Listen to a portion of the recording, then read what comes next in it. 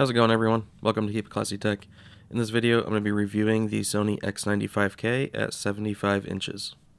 And I can warn you now, it's not going to be an overwhelmingly positive review, so if you're looking for that, sorry, but you're not going to get it here. I'm going to be straight out honest with you about this. The TV is priced incorrectly for what it offers. It's not a bad TV. It doesn't look terrible. It's just at the price point, which at the time of making this video, it's $3,800 for the 75 inch, and at nearly $4,000, it has no right being in that price range. So I'm going to start off going through the unboxing and setup of the TV, and then talk a little bit about some measurements and how it calibrates, and then we'll move into some of its main glaring issues for the price range, uh, and then also talk about what it does well. Alright, so the TV comes in a very large, just plain brown box. Uh, and I say very large because this TV has an ongoing theme of large and heavy. Alright, so real quick too, I just want to show how easy it is to pull these straps off without having to cut them. You just flip them over, peel them down, and snap them. Alright, so popping the top open, you see the legs, a couple panel pieces, your bag with the remote, papers, pull that up and then you start seeing tons and tons of cardboard like there is just cardboard everywhere so good thing because it's packed well uh, but it does add a lot of weight so then there's a lot more little panel pieces at the bottom and there's not one but two full pieces of cardboard covering the front alright so to get the feet on easily you can just flip those little triangle pieces at the bottom over and then fold down the cardboard pull out the excess foam and then you can slot the feet in very easily while it stands up in the foam. And there's multiple positions for the feet. So you got three of the HDMI ports facing down, one to the side, along with your USB ports. And then here's how it handles reflections, which I'm not a fan of that type of coating. Uh, and then there's just a strip going around the bezel. But I don't like that reflection coating because it makes like rainbows go across the screen and it's just more distracting to me. The new remote is pretty nice, however there's no number buttons anymore. Um, and then here it is set up next to my 83G2, and you can see it's not bad looking. It's a little low on contrast, but it's not bad. Uh, and I'm going to show a pixel shot, which shows that it is a BGR, or blue-green-red VA panel. Here's the stats on the weight and size. With the box, it's 140 pounds. Alright, so real quick, just going to touch on a few things here 73% BT 2020 coverage, very easy to get a pretty flat calibration in HDR. With good accuracy overall, a little bit of a drop off towards the upper end of EOTF, and then in SDR, colors came in line pretty nicely, just a little bit of oversaturation at the farthest ends.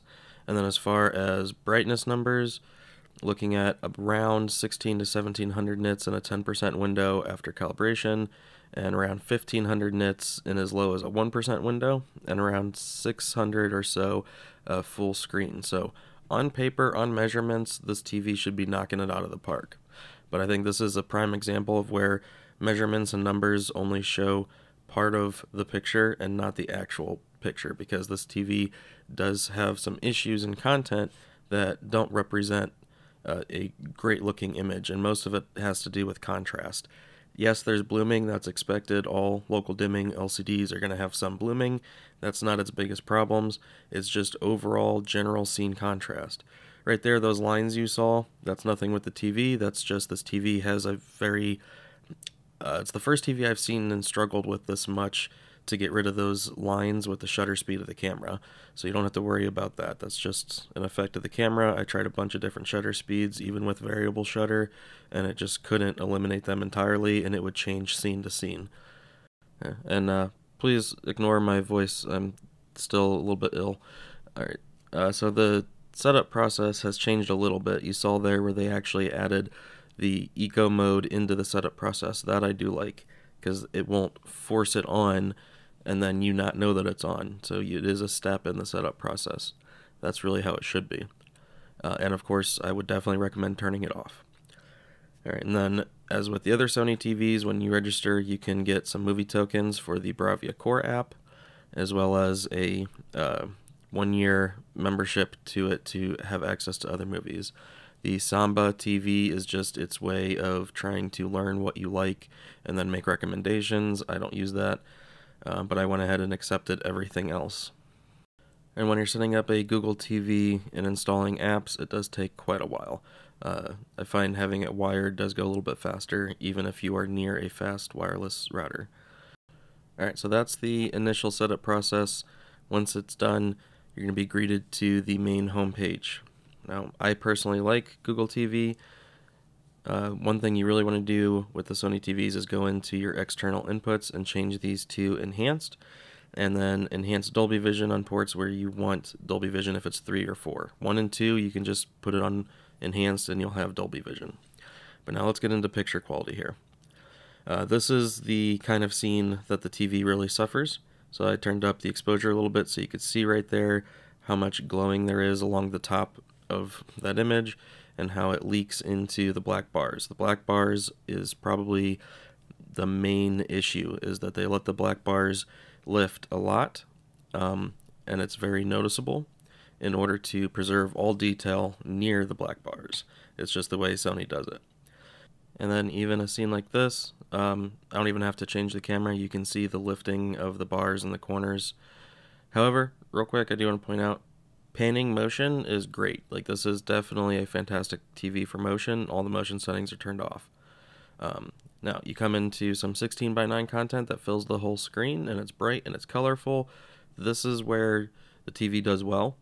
Um, there's very little to complain about.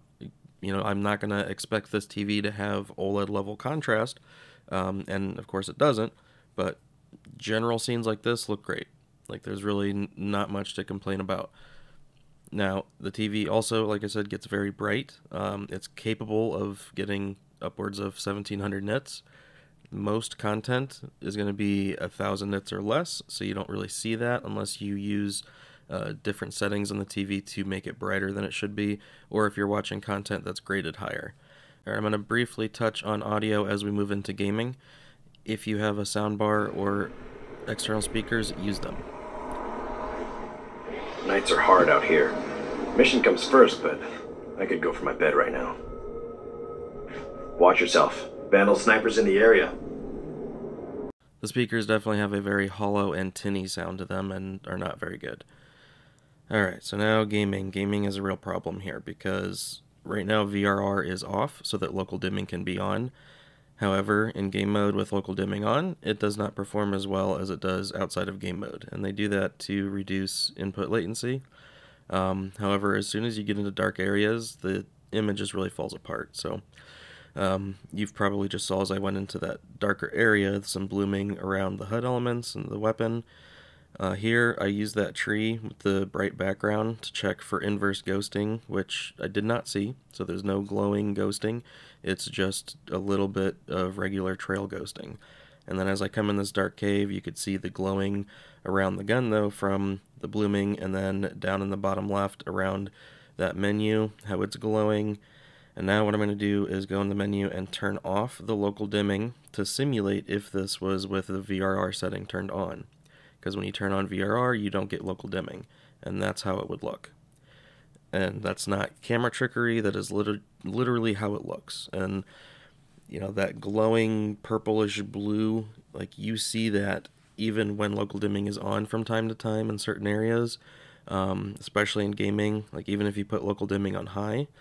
Um, and that's just one of the other big issues for me with this TV is when it does that, it just gives that cheap LCD look.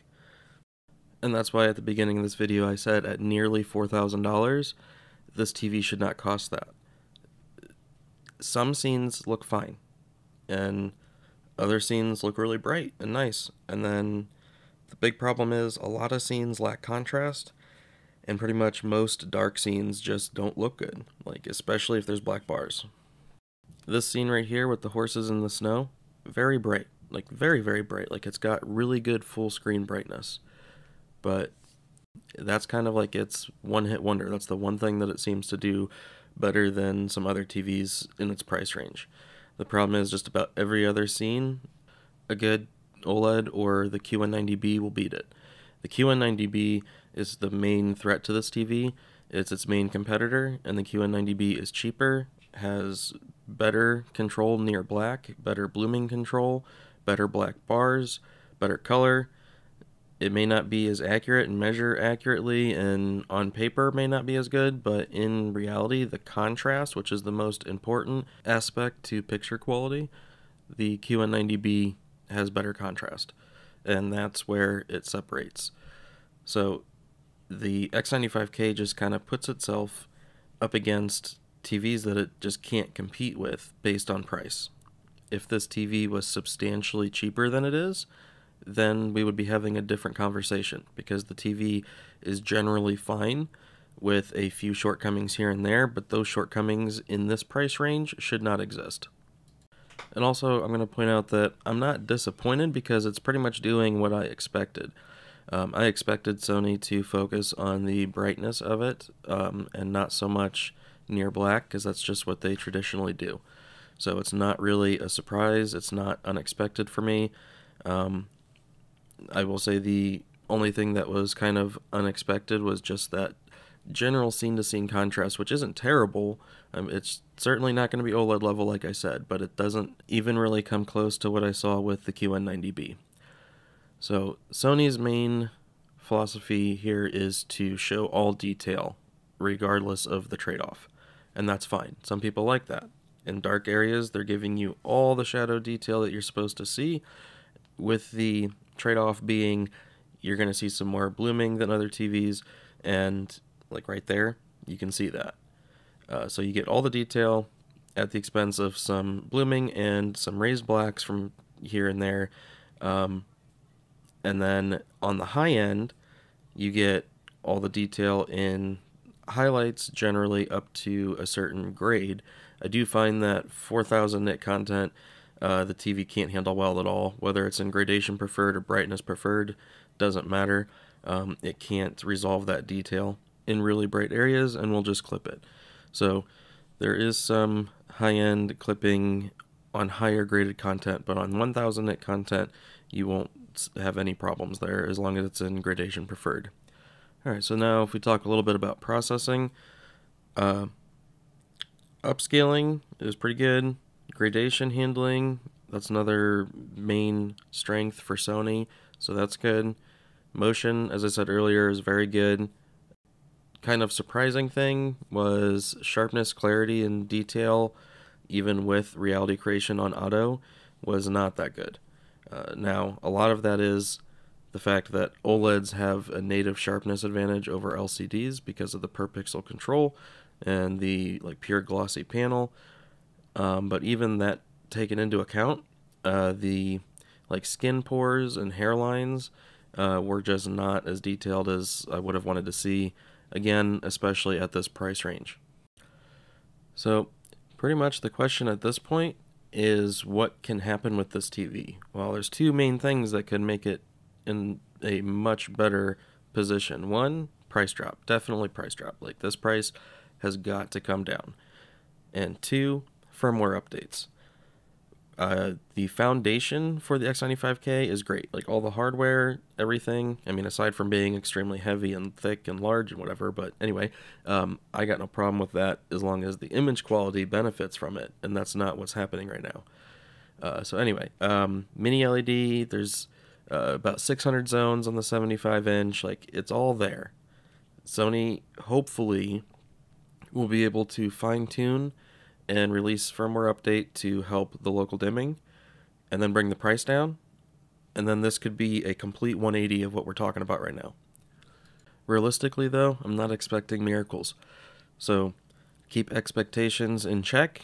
I think they could release an update to help the local dimming a little bit. Um, I don't expect a huge change. Maybe they can change it where it doesn't light up so many zones uh, close to where an object is that it's lighting up for. Um, that could help the black bars if they could do that. Um, that would be a really big help in combination with a good price drop. Um, but I'm not expecting a giant change in how this is going to look going forward. Uh, we'll see what happens. Gaming, I don't see that getting improved enough to want a game on this TV at all either. Um, that seems like a lost cause. So if you are even slightly bit more into gaming, um, I wouldn't want to play on this TV. Um, and I, I mean, like, if you're gonna just play a game casually once every couple weeks or something, fine. Um, but if you're interested in gaming really at all, this is not the TV for you. Mostly, this TV is going to be for a bright room without reflections hitting the screen directly. So if you just happen to have a lot of ambient light in the room, but nothing really hitting the screen to send those rainbows everywhere, um, that's mainly where this TV is going to be fine. Watching TV, um, you know, just general cable, news, stuff like that, sports, I'm sure are fine on it. Um, DSE did not seem to be an issue, at least on the panel that I had. Uh, you know, it's just dark room watching serious like movies, critical viewing at night. Uh, that is not a specialty of this TV. And that's pretty much going to end this review there now. Um, again, hopefully, big price drops will come and help this TV out. So, uh, thank you all for watching. Um, kind of disappointing the way this whole review turned out, but it is what it is. And, uh, you know, I'll catch you all in the next one. I hope you have a good one.